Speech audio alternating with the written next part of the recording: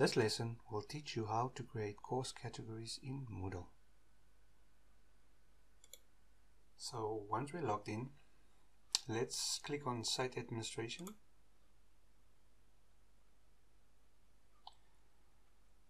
In our Site Administrations window, let's click on Courses. And then under Courses, let's click on Manage Courses and Categories. You'll see here two separate windows.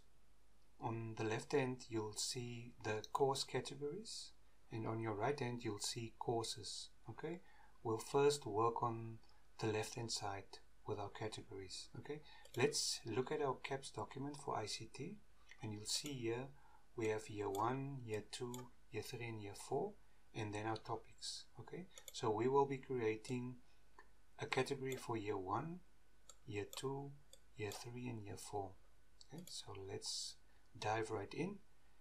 Click on create new category. In our parent category let's select top. In the category name let's go to our caps document and just copy year 1 okay so just select year 1 copy and paste it where it says category name. Leave category ID blank and we can give a description of, of the category but we can leave it as is. Let's click on create category.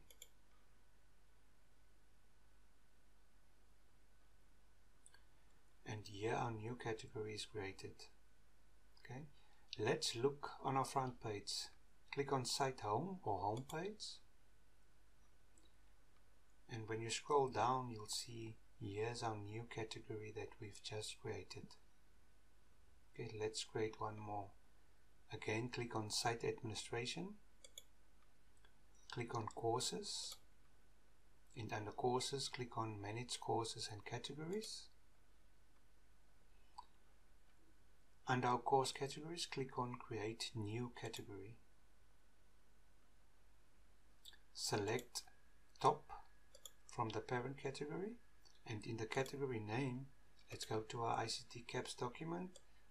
Let's select year 2 copy it and we paste it in here. Leave the category ID number blank and leave the description blank. Click on create category.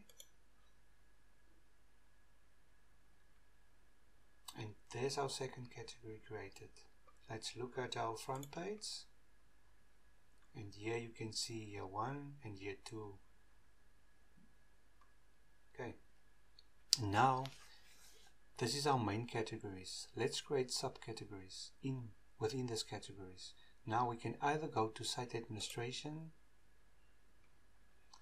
again to courses and then manage courses or we can just click on the category that we want to edit click on year 1 and here in our right hand corner click on manage courses. And it's the same window. Okay now in our year 1 we want to create a subcategory there.